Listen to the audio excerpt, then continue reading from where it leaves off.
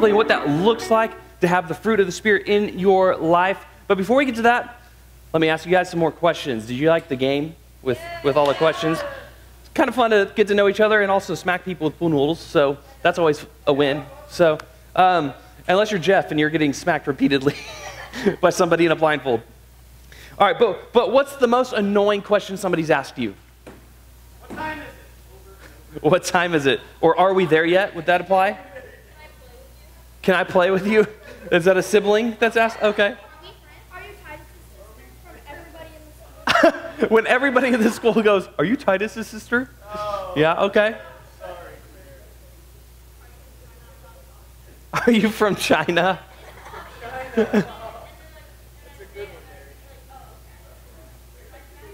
nice, yeah. Are your cousins twin? Are they? Oh, they are. Nice, nice. I like I would know if we have a test today. I'm not that good of a student. All right, what's the best question somebody has asked you? Do you want ice cream? That is an excellent question. This morning, my grandma asked me if I wanted to go to Rascal. Do you want to go to Rascal's Fun Zone?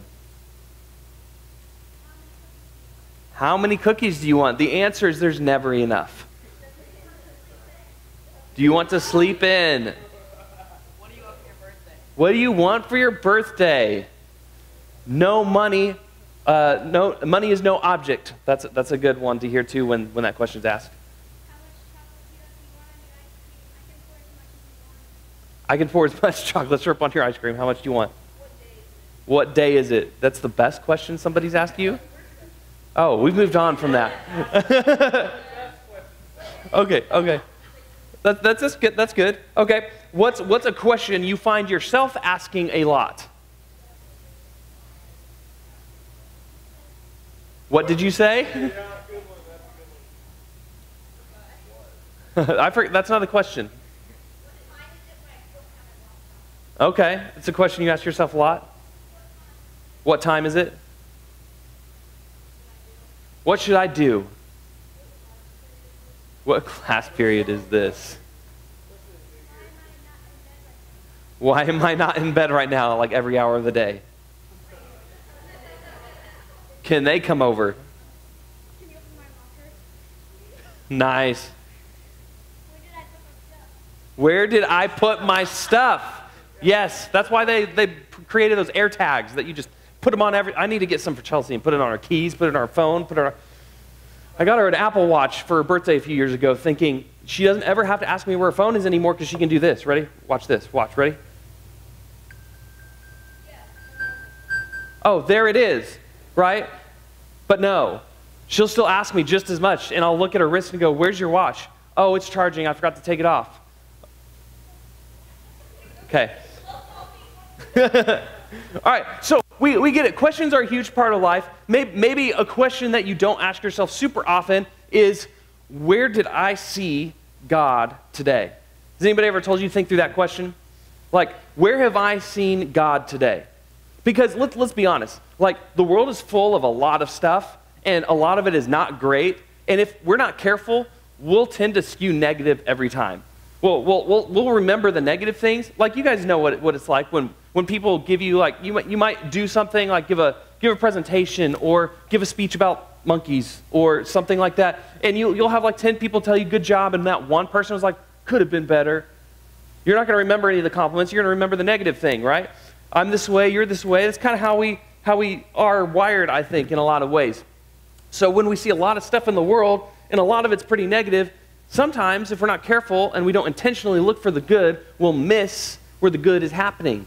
So when you ask yourself, where did I see God today? It forces you to see and, and look for the ways that God might have been working and, and you might not have been paying attention. Or, or maybe it'll make you more grateful for the good things that you did see. Uh, where, where did you see God today? See, when we struggle to see God's goodness and love in our everyday lives, we, we usually do one of two things, okay? When we, when we don't see where God is working, when we don't see the good, when, when we struggle to see where God is working, we do one of two things. One is we either step up because we see a need and we go, you know what? I, I don't see where God is working in this need right now in my school, in my house, in my community, or whatever. So I'm going to step up and I'm going to fill that need because I know it's something that needs to be done and I want to be part of God's plan to make it happen. Or the second thing is we, we step away, we step back. And we kind of like, it, it's almost like a defense mechanism. It's like, you know what? I'd rather just like try to ignore it than to try to be a part of the solution and or try to look for good and not be able to find any and then be super bummed out or whatever. It's easy sometimes to just like step back, but if you've heard like fight or flight, it's kind of almost that response where you either fight or you, you fly away. You, you fight or flight. You, you either step up or you step back. That's generally the response we have when it comes to where is God in this situation.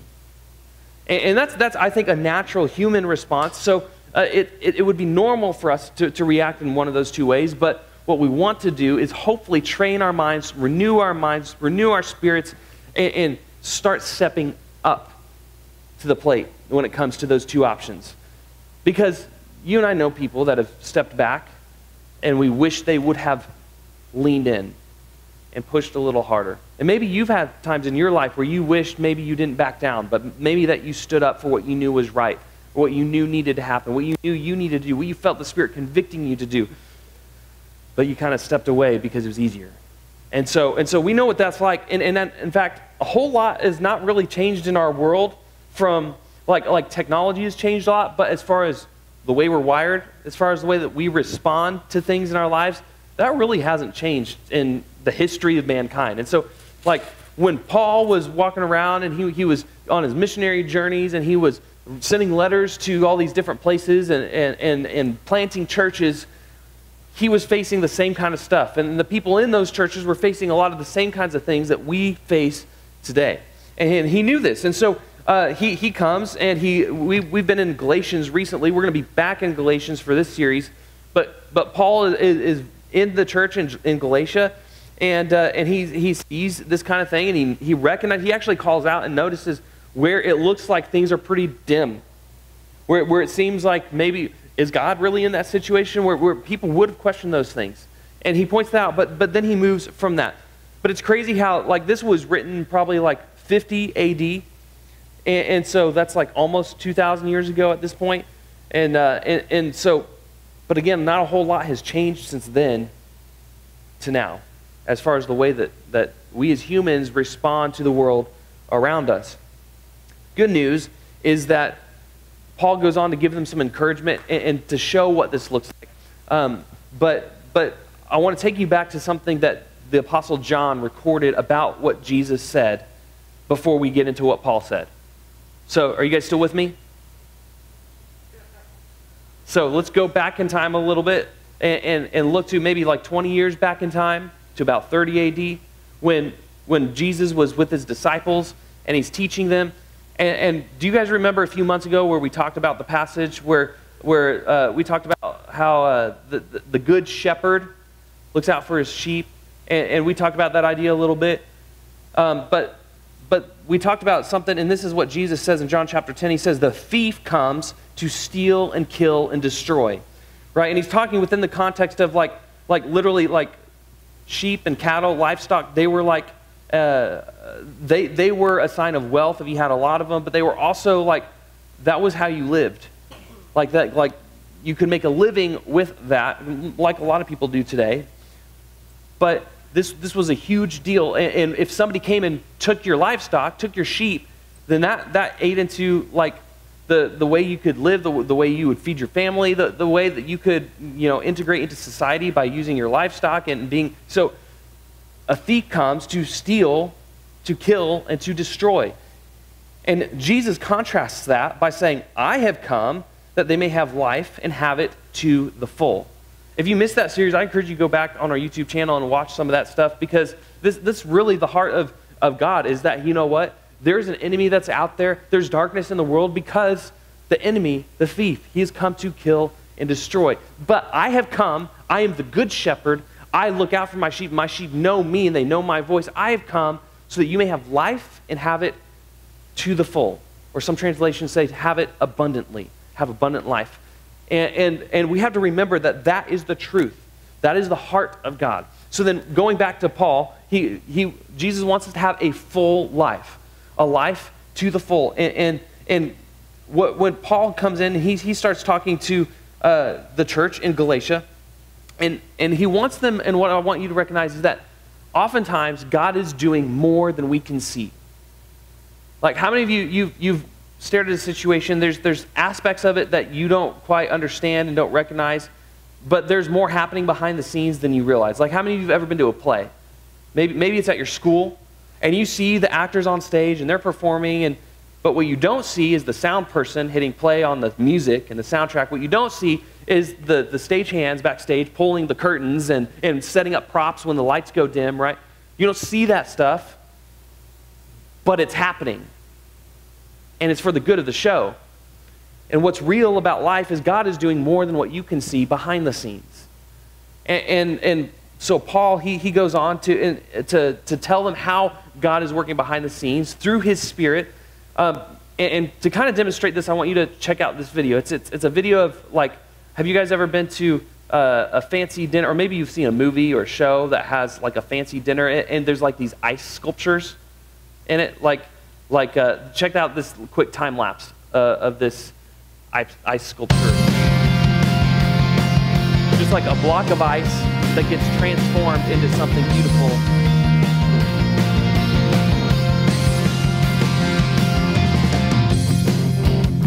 Isn't that kind of insane how quickly and how how cool uh, somebody can, can take just a chunk of ice and make it something completely different? And it gets more and more detailed as he goes.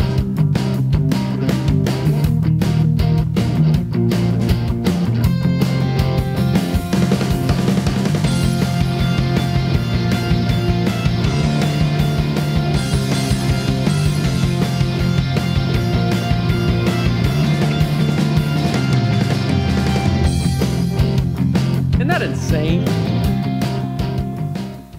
It's like a swan, I think. A swan in flight. So, but you see how, how cool that is. Okay? The, the, the sculptor takes a look at this big chunk of ice, but they've got a picture in their mind of what it could be. They see the swan. You and I see the big chunk of ice. They see the swan. And their job as a sculptor is to get rid of all the pieces that are not the swan. That's essentially what they're doing. And they chip pieces away until you see what they saw in their mind, which is the swan. They make it come to life by taking all the pieces that aren't the swan away. And that's exactly what the Spirit does in us. He takes away the things in our lives and in our hearts that are not the Spirit. Because the, the reality is, and the truth about our faith is that uh, kind of our whole life is a sculpture being made. And it's the Spirit transforming us and making us into His image. The more that we follow Jesus, the more that we look like Him. The more we act like Him, the more we talk like Him, the more we treat others like Him in love. But you and I naturally don't, don't react to things that way. We are naturally like jealous, selfish creatures, undisciplined. Like our, our knee jerk reaction to annoying questions is usually not kind, right? Uh, sometimes our filter catches it and we act nice, and sometimes it doesn't. But the reality is, all that stuff in us that is, is not like Jesus, that is kind of our own natural inclination and our knee jerk reactions, that stuff has to get taken away. And the Spirit does that in our life. I like the way Romans 12 says it, where he says, Don't conform to the pattern of this world, but be transformed by the renewing of your mind. And that has to take place in order for you to be more like Jesus. And so the Spirit, alive and active in your life, is what transforms you in, into the image of God by taking away the pieces that are not of Him. And, and so uh, this is how Paul describes it. He goes, The fruit of the Spirit is love, joy, peace, forbearance or patience, kindness, goodness, faithfulness, gentleness, and self control. That's the fruit of the Spirit, right? What, what is fruit? It's the product of a tree or a plant. And, and you can know what that tree or plant is by the fruit that it produces, right? You're not going to plant an apple uh, seed and get an orange tree, uh, you're, you're going to get an apple tree. And, and you know it's an apple tree because there's apples coming from it, right? And the same is true in your life. People will know that you are a follower of Jesus. They will know that the Spirit lives inside of you by the fruit you produce in your life. And that fruit is love, joy, peace, patience, kindness, goodness, faithfulness, and self control. When you embody the Spirit and He does His work in you to take away the pieces that aren't of Him, the result that will be produced in your life is the fruit that comes from God. And it will be nourishing and refreshing to those around you. And it will give life to others. That's what it looks like when God is working behind the scenes in your own life. God is doing more than you and I can see in most situations. I would say in all situations. God is doing more than we can see. So, how, how does that come to life in our own lives? How, how, do, how does that come to be? First, I want you to choose to believe that God is doing more than you can see.